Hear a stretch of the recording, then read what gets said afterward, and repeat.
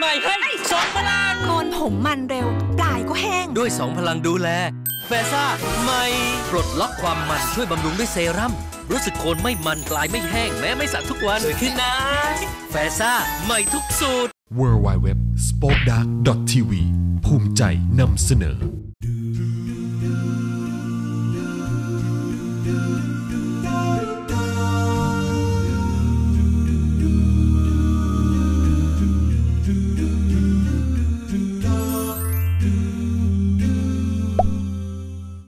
วัสดีค่ะ สวัสดีคุณผู้ชมวงเวพับเพลินค่ะ กลับมากับซีรีส์การแต่งหน้า โดยได้รับแรงบันดาลใจนะคะ มาจากอัญมณีประจำราศีเกิดต่างๆกัน ซึ่งคราวที่แล้วจับฉลากเอาไว้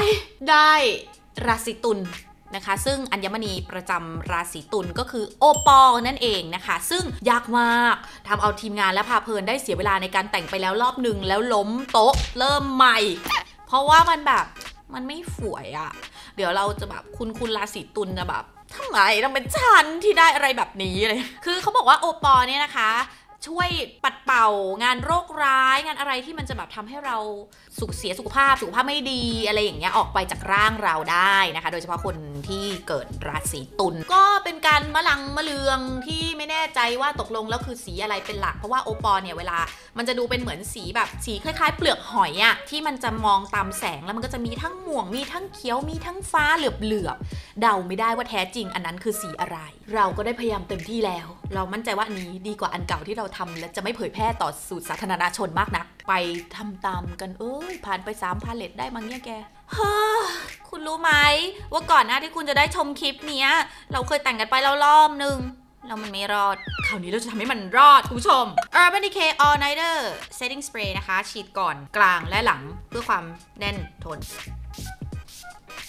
มันช่วยได้จริงๆนะ อะ มาใช้ไพรเมอร์กันค่ะ ช่วงนี้ใช้คุณคนนี้ค่อนข้างบ่อยนะคะเอ่อ Make Up Forever Mattifying Primer นะคะ เป็นไพรเมอร์รุ่นล่าสุดจาก Make Up Forever ซึ่งออกมาหลายแบบมากเลยรู้สึกจะมีเหมือน 6-7 แบบ หรือเยอะกว่านั้นมุมมันจำไม่ได้นะ ชอบคุณคนนี้เพราะว่ามันช่วยทำให้หน้าเราไม่มันได้ค่อนข้างดีเลย แต่ว่ามันจะมี texture ที่เหมือนแบบหนึบหนึบเหนียวเหนียวนิดนึงนะคะ มันจะไม่ได้ลื่นปรื๊ดเป็นแบบซิลิโคนเหมือนหลาย ๆ เจ้าที่เขาเน้นเรื่องของการควบคุมความมันกัน ตัวนี้มันจะแบบหนึบหนึบนิดนึง ตอนแรกที่ใช้ถ้าเกิดคุณไม่ใช่คนที่ใช้อะไรที่แบบมีความรู้สึกหนึบหนึบแบบนี้คุณจะรู้สึกเหมือนเหนียวหน้านิดหน่อย ถ้าตรงไหนไม่ได้มันอย่างบางคนอาจจะบอกเป็นคนผิวผสม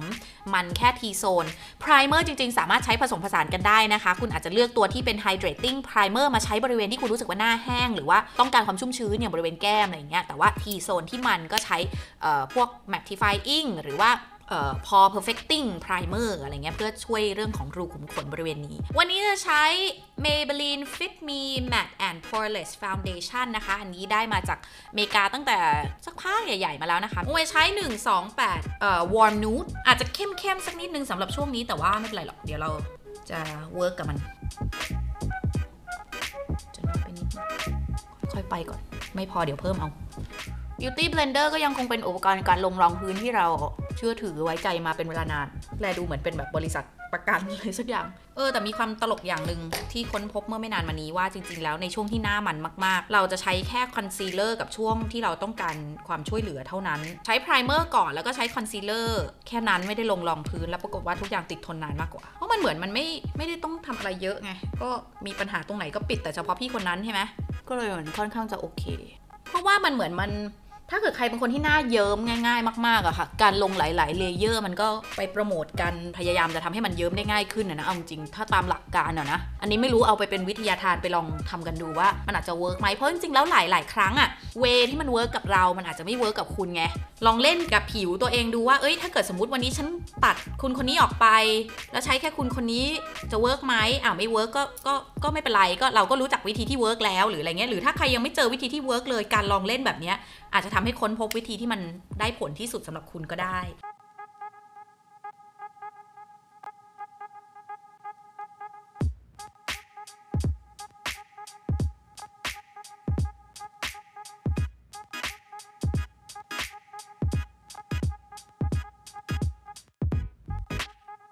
Clinique Chubby Stick Sculpting Contour ฉันหารักเขา ถ้าใครบอกว่ามันใหญ่ไปแล้วควบคุมลำบากนะคะ ตอนนี้เอ่อ Burberry ก็มี Contour Stick เหมือนกันนะคะ แต่เขาก็จะมีให้เลือก 2 สีนะ เป็นสีเข้มสีอ่อน อันนั้นก็เป็นตัวเลือกอีกตัวหนึ่งที่น่าสนใจเหมือนกันสำหรับใครที่ชอบครีม contour แล้วรู้สึกว่าไม่ต้องอยากซื้อแบบครีมอันนึงแปรงอันนึงอะไรอย่างเงี้ย เพราะว่าถ้าเกิดก่อนหน้านี้ใช่ไหมคะ เราใช้พวก Charlotte Tilbury หรือใช้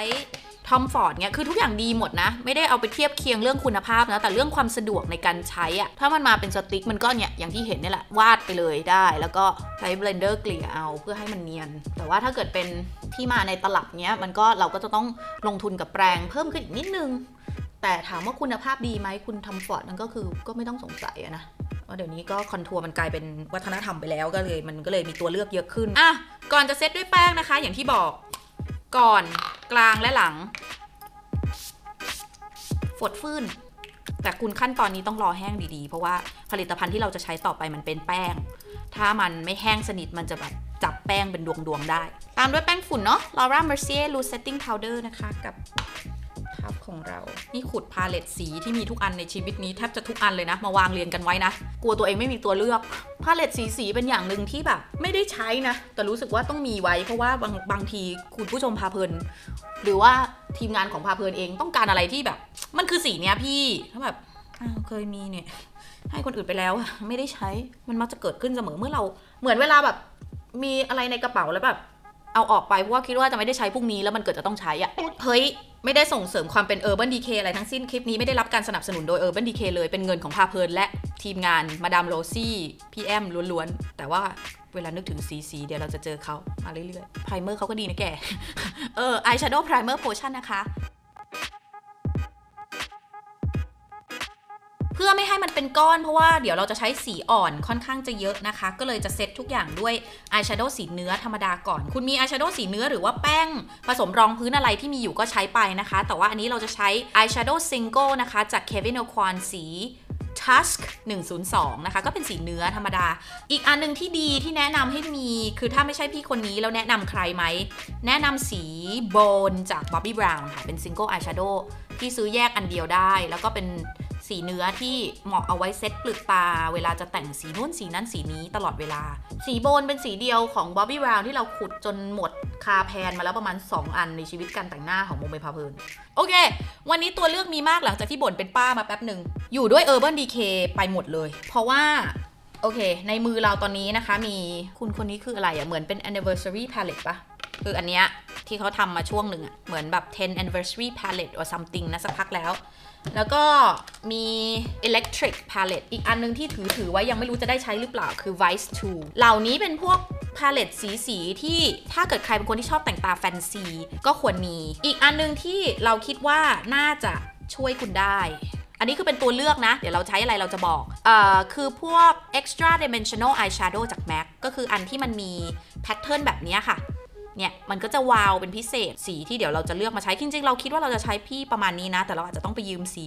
สีเขียวสีฟ้าอะไรจากพาเลตอื่นๆ อีกเจ้าหนึ่งที่น่าสนใจก็คือ eyeshadow ที่เป็น loose shadow ของ3อันนี้เมื่อกี้เราเจอสีที่เราคิดว่าเราจะเอามาใช้เป็น accent ตรงกลาง ก็คือสีที่ชื่อว่า starry night แต่ว่าอันเนี้ยจะต้องควบคุมดีๆหน่อยเพราะว่ามันมีโอกาสร่วงได้ง่าย อีกยี่ห้อหนึ่งที่ถ้าเกิดใครไปมิลาน เราก็แนะนำหรือไปอังกฤษก็คือ Kiko Kiko ที่เป็น eyeshadow รุ่นเนี้ย อันนี้เราได้มาตอนที่เราไป เราไม่แน่ใจว่าไปอังกฤษหรือไปมิลานแหละซื้อกลับมานะคะ ก็จะเป็นรุ่นที่เขาเรียกว่า long lasting wet and dry eyeshadow มั้ง ถ้าจะไม่ผิด โอเค สีที่เรากะกะไว้ว่าจะใช้มันก็จะเป็นแบบงานม่วงม่วงเขียวเขียวเพราะว่าโอปอลมันจะเป็นความเหลือบเหลือบๆใช่ไหมคือสีที่เราเห็นจากข้างนอกมันจะดูเป็นสีขาว แต่ว่าพอมันโดนไฟปั๊บมันก็จะกลายเป็นสีนู้นสีนั้นสีนี้ จริง ๆ แล้วมันเกือบเกือบๆจะเป็นสีรุ้งแหละ แต่มันมีความมันไม่ทึบมันใสมันเป็นสีรุ้งที่ค่อนข้างใส เพราะฉะนั้นพวกสีเข้มอย่างตอนแรกคิดจะใช้อิเล็กทริกอย่างเงี้ยเราก็แอบรู้สึกว่ามันอาจจะทึบไปนิดนึง เดี๋ยวเราจะลองดูแล้วกันเนาะว่าเราจะไปยังไงกันได้ เมนหลักแล้วน่าจะเป็นคุณสองคนนี้ก่อนค่ะ สีเข้มอันนี้นะคะก็คือ extra dimensional eyeshadow จาก MAC สี Grand Galaxy ส่วนคนนี้นะคะ เอ่อ extra dimensional eyeshadow เหมือนกันสี smoky mauve mauve smoky mauve เราจะเริ่มจากอ่อนไปเข้ม โดยใช้แปรงอันเล็กก่อนแปรงจาก3นะ ใช้ smoky mauve ก่อน เรารู้สึกว่าแปรงขนธรรมชาติมันพิกัพสิ่งนี้ขึ้นมาไม่ได้ดั่งใจเลยว่ะอะรู้เรื่อง พี่ใช้นิ้วมือต่างตาเหรอคะ แปรงเหรอคะเฮ้ยอย่าไปเครียด ความยากมันก็คือมันจะโดนพี่แถวนี้ด้วยเดี๋ยวต้องดีๆนะทางตาก่อนเนาะ เราคิดว่า extra dimensional eyeshadow ของ MAC เนี่ย น่าจะดีเมื่อใช้แปรงที่เป็นแปรงขนสังเคราะห์ และนอกเหนือจากนั้นคือถ้าฉีดให้มันเปียกๆ นิดนึง มันจะให้ look wet look มากกว่า โอเค ไหน ๆ ก็ไหน ๆ ละ ส่งมาให้เล่นใช่ปะเราก็มาลองกันดูดีกว่า fail ขึ้นมาจะได้รู้ let's have fun ไม่เคยได้ยินมาก่อนเลย เห็นใน IG ชอบมาคอมเมนต์ แล้วเป็นคอมเมนต์ฝากร้านก็เลยลบ นี่คือ Brush Too แบบ brush แล้วก็ T O O 2อะเห็นเป็น synthetic หมดเลย เรามาลองกันดูนะ เฮ้ย มัน pick up สีขึ้นมาได้เยอะดีนะ oh not bad โอ้ยแกเดี๋ยวฉันต้องไปห้างอะลูกนี้ฉันจะเข้าห้างได้ใช่ปะฉันต้องเข้าไปทำธุระในห้างอะคนเขาจะเข้าใจฉันใช่ปะมาใช้สีเข้มบ้างดีกว่า คนคนนี้คือใคร คนนี้คือเบอร์อะไร precision flat angle ก็โอเคนะ มันก็พิกอัพสีขึ้นมาได้เยอะดี เชฟก็เป็น angle brush ที่ไม่ใหญ่จนเกินไปอ๋อก่อนอื่นก็ขอบคุณนะคะที่ส่งมาให้ เดี๋ยวเรามาดูกันต่อไปว่ามันจะเป็นยังไง ไม่ก็ ก็จริง ๆ อะ ก็จริงใจอะคุณผู้ชมดี ดีบุ๋มก็ว่าดี ไม่ดีบุ๋มก็จะบอก เดี๋ยวเราจะลงสีเข้มนะคะ อันนี้ที่บริเวณหัวตา เพราะว่าเราไม่ได้อยากให้มันเหลือเป็นเหมือนสีรุ้งอะโอปอมันจะไม่ชัวร์ว่าสีไหนมันจะโผล่มาตรงไหนเนกอะปะเพราะฉะนั้นเราก็เลยจะ พี่คนนี้ลงไปบริเวณนี้ด้วย เดี๋ยวจริงๆ เราจะเอาสีอื่นมาลงตรงกลาง เพราะฉะนั้น ฉันถึงได้บอกบอกว่าห้างจะไม่เข้าใจฉันหรอก โอเค แล้วเราจะซ้ำสีอ่อนลงไปนิดนึงนะ เพราะว่าถ้าหัวตามันม่วงเข้มมาก มันจะตกอกตกใจ ถ้าอยากให้มันดูวาวกว่านี้ก็แค่ฉีดพวก Max Fix Plus หรือว่าน้ำแร่อะไรก็ได้นะคะ ใส่แปรงแล้วค่อยไปแตะสีนะ ก็จะช่วยให้สีมันวาวขึ้น เดี๋ยวเราจะไลท์บริเวณข้างบนด้วยสีที่มันเป็นสีแบบไม่ถึงกับน้ำตาลมากอะเราเจอสีนี้ในใน Vice Palette 2 นะคะ แต่ว่าถ้าเกิดใครมีแบบแป้งที่เข้มขึ้นมากว่าแป้งที่ใช้ในชีวิตจริงนิดหน่อยอะไรอย่างเงี้ยนะคะ ก็ใช้ได้เราจะใช้สีนี้นะคะ Habit ที่นิ้วโป้งวงมาอยู่ตรงนี้นะสีแบบน้ำตาลอ่อนๆ มาก ๆ อะไรเงี้ย เดี๋ยวใช้ crease brush ในการให้มันมีความต่อเนื่องจากระหว่างสีม่วงขึ้นไปหา สีเนื้อนิดนึงไม่อย่างนั้นมันดูแบบกระโดดกระเด้งออกมา เวลาใส่สี transition color หรือว่าสีเชื่อมอย่างเงี้ยนะคะ แนะนำว่าให้จับปลายปลายแปรงแล้วก็ให้เบามือเพราะเราต้องการแค่เหมือนแบบ ซอฟๆแล้วก็เหมือนเป็นการเกลี่ยสิ่งที่มันอยู่ตรง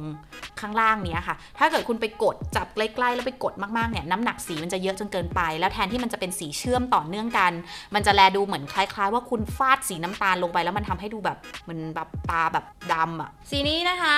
ชื่อ madness ใช้แปรงที่มาด้วยกันนี่ซะเลยก็แล้วกัน น้อยๆเนาะน้อยไป กลัวไง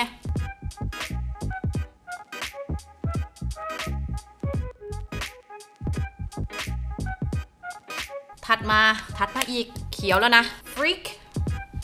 this one เบลนให้มันกลายเป็นฟ้าฟ้าๆเขียวเขียวๆไปเลยดีกว่า อะ ได้ดังใจไหม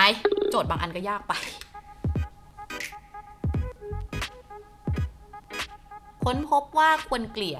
พี่เขียวกับพี่ฟ้าให้เข้ากัน เพื่อมันจะได้เป็นแบบเหลือบๆ ไม่รู้ว่าตกลงแล้วเขียวหรือฟ้ากันแน่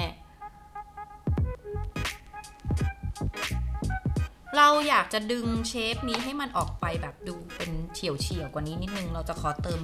ม่วงเข้มเข้าไปในบริเวณหางตาในจังหวะที่เราต้องการก็แล้วกันนะ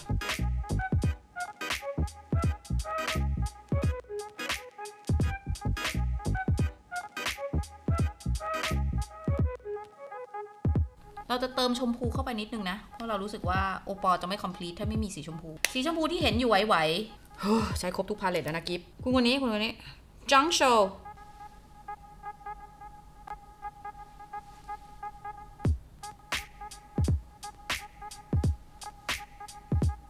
อะ เดี๋ยวจะไปทำอีกข้างให้เท่ากัน เดี๋ยวกลับมาใหม่ ลงใต้ตาไปเลย ลุคนี้เป็นลุคแฟนซีไปแล้วนะ ฉันว่าหนักกว่าลุคฮาโลวีนที่แต่งอีก เดี๋ยวจะเติมพี่คนนี้ลงไปหน่อย เมื่อกี้พี่คนนั้นอยู่ไหน อ๋อ three นะคะเอ่อ starry night มันจะเป็นเหมือนสีแบบสีเหลือบเหลือบๆที่เป็นสี เนื้อเนื้อขาวๆอะไรอย่างเงี้ยค่ะ เดี๋ยวเราจะขอเติมพี่คนนี้ลงไปนิดนึง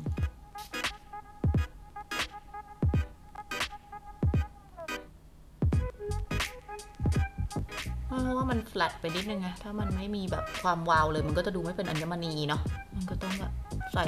งานวาวลงไป แต่ถ้าเป็นสีวาวที่เป็นสีอื่นมากมายเงี้ยมันก็จะไม่เห็นสีข้างล่างที่เราลงไว้ถูกปะเพราะฉะนั้นมันก็เลยต้องเป็นสีที่แค่เติมงานวิบวับลงไป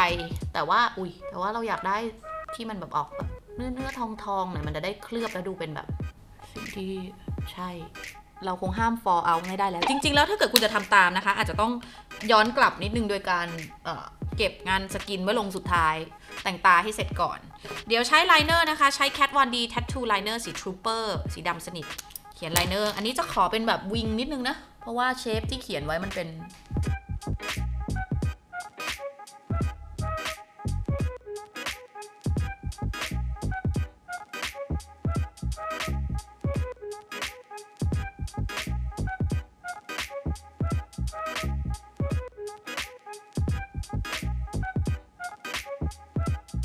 ไปเขียนคิ้วแป๊บ เดี๋ยวมา ใช้ sculpting powder สี medium ของ Kevyn Aucoin นะคะ contour ในที่ที่เราอยากให้เล็ก ซ้ำ contour แป้ง เอ้ย contour แบบครีม ที่ทำไปในตอนแรก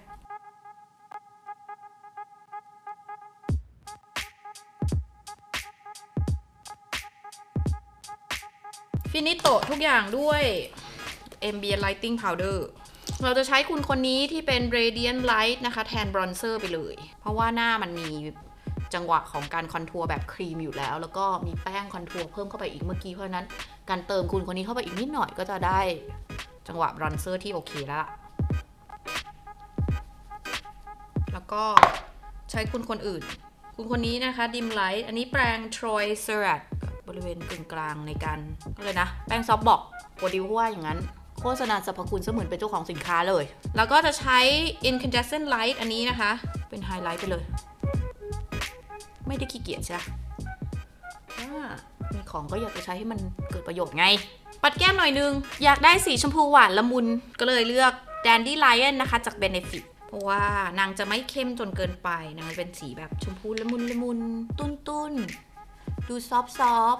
เพราะว่าไม่ควรจะไปในทางที่แรงไปกว่านี้แล้ว ไม่งั้นจะเตรงคำใหม่ของเดือนนี้ขอเสนอคำว่าเตรงหรือคำว่ารำคือมันดูแกรำไหมรำคือพร้อมขึ้นโชว์อะคือหนักไป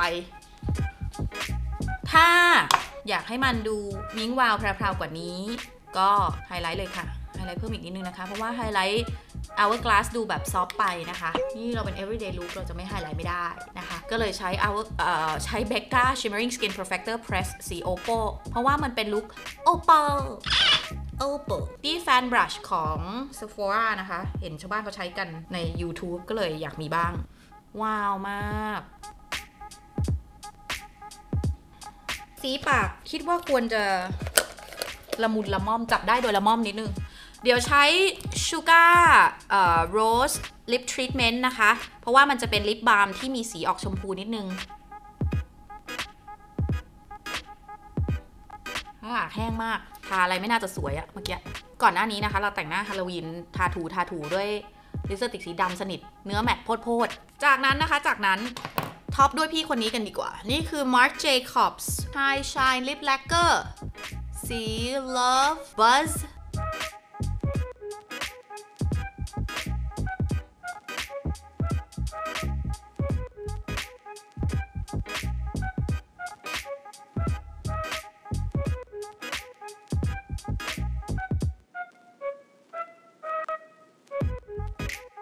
หนูทำได้ตะเด็ดตะเด็ดและนี่คืออัญมณีลุกโอ้ let me just get it done เสร็จแล้วได้ลุกอย่างใจแล้ว ได้ลุกอย่างใจโปรดิวแล้ว เจ้าของรายการต้องไปทำอย่างอื่นต่อแล้วอ้ออย่างที่บอกกันไปนะคะว่าตอนแรกเนี่ยเราจับฉลากเออคือเราทำลุกเนี้ยไปแล้วรอบหนึ่งแล้วเราตกลงกันชมด้วยกันเองไปมาแล้วรู้สึกว่ามัน มันยังไม่ใช่อะกิฟก็เลยทำใหม่ ก่อนหน้านี้ตอนถ่ายครั้งที่แล้วนะคะ ได้จับฉลากเอาไว้แล้วว่า อัญมณีประจำราศีที่เก๋ไก๋อันต่อไปที่เราจะมาแต่งหน้ากันนั้น คือมุกแต่งยังไงไหนพูดสิ พูด ไปคิดก่อน ไม่งั้นเดี๋ยวต้องทำสองรอบแบบนี้อีก วันนี้ไปแล้วนะคะ แกฉันใช้ชีวิตต่อยังไงอะหน้าฉันไม่ได้ดูแฟนซีเชียว